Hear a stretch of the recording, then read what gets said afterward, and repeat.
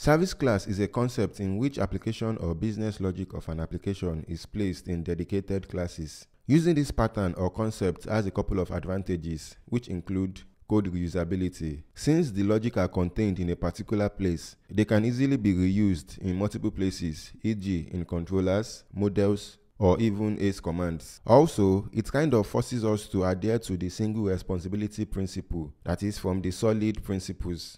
And lastly, it makes our controllers or models slim or lean. In this lesson, I will be showing you how to implement the service class pattern in Adonis. Since this is not a concept that Adonis provide out of the box, there is no ACE command to create service class. So we need to create them manually. So inside the app directory, I'm going to create a new directory, which I'm going to call services. And this will be the place where all services will be stored. Before we go on and create our first service class, let's take a look at the current implementation I would want us to refactor to use service class. So I have a auth controller and a register controller and each of them has just one method. So the register controller has a register method and while the auth controller has a login method. I have basically extracted this from the Adonis Mastery code base and I've gotten rid of things that are not needed for this lesson. For each of the method, I have in place Google reCAPTCHA so for the login method, before user is allowed to log in, that is if they provide their correct details, the reCAPTCHA verification needs to pass. And same thing is applicable for the register method. Again, before user is registered, the reCAPTCHA verification needs to pass. I already covered how I implemented Google reCAPTCHA in an Adonis.js application in one of my tutorials. So you can check out the tutorials section on Adonis Mastery if you want to learn how to implement this. Having said that, you notice one thing in the methods so we have the same logic here in the register method as well as the login method.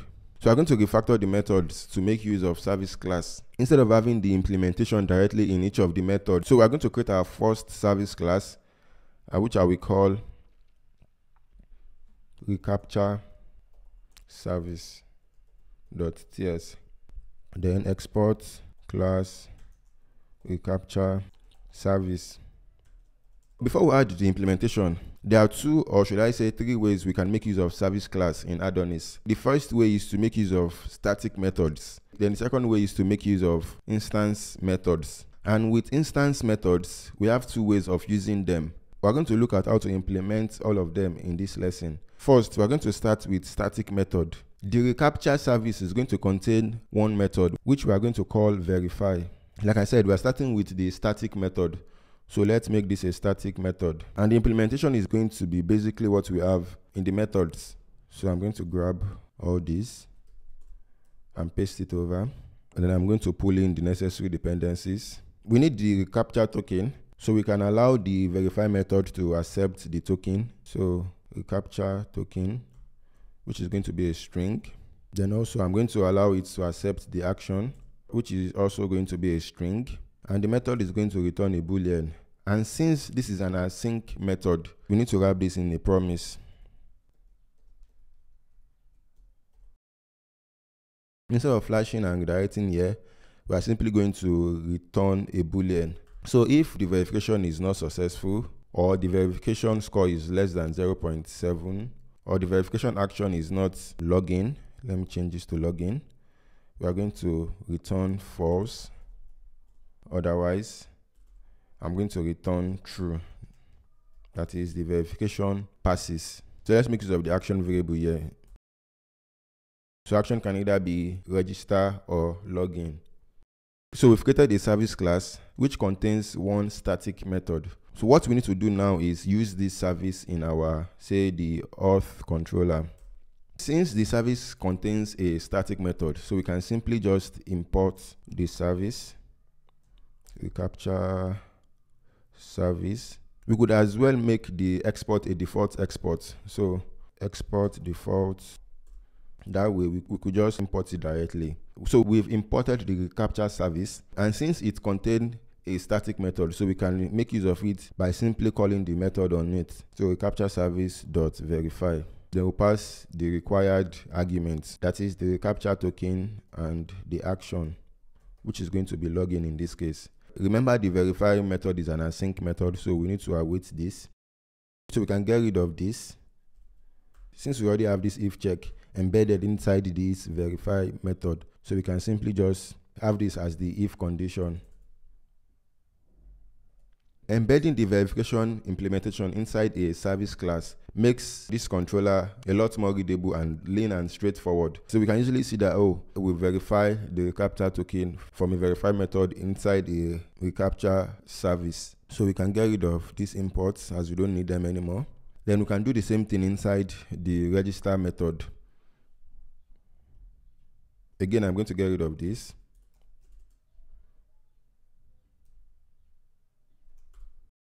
Then await reCAPTCHA service dot verify. You pass the capture token and the action. This time is going to be register. Again, let's get rid of this. Sorry, this should be if not, so that is if the verification fails. That is when we flash this message to the session and direct back. Otherwise, we will allow the user to create an account. And same thing is applicable to the auth login method. So this should be not verify. So that is one way to make use of service class using static methods. So now let's look at the second way, which is making use of instance methods. Let's go back to the reCAPTCHA service. I'm going to duplicate this and comment this out.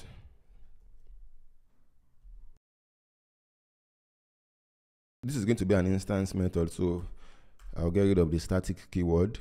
The implementation remains the same because we are not really doing any class specific thing inside the method. So now if we head over to the auth controller or register controller, we should have an error. Property verified does not exist on the type reCAPTCHA service. So because this is no longer a static method, we can't call it this way. So we need to create an instance of the service class. Then from the instance, we can access the method. Typical OOP concept. So to fix that, we need to create an instance of the service. reCAPTCHA service equals new. reCAPTCHA service. Then we can say reCAPTCHA service dot verify. And everything should be working as before. But now we are making use of instance method. First we create an instance of the service. Then we used that instance to call the method on the service for simple class like this this is totally fine but imagine we have two or more methods in this auth controller that needs to make use of the capture service having to create a new instance inside each of them might not be ideal. We could instead move that inside the class constructor, that is constructor. So we can have a property that we can call reCAPTCHA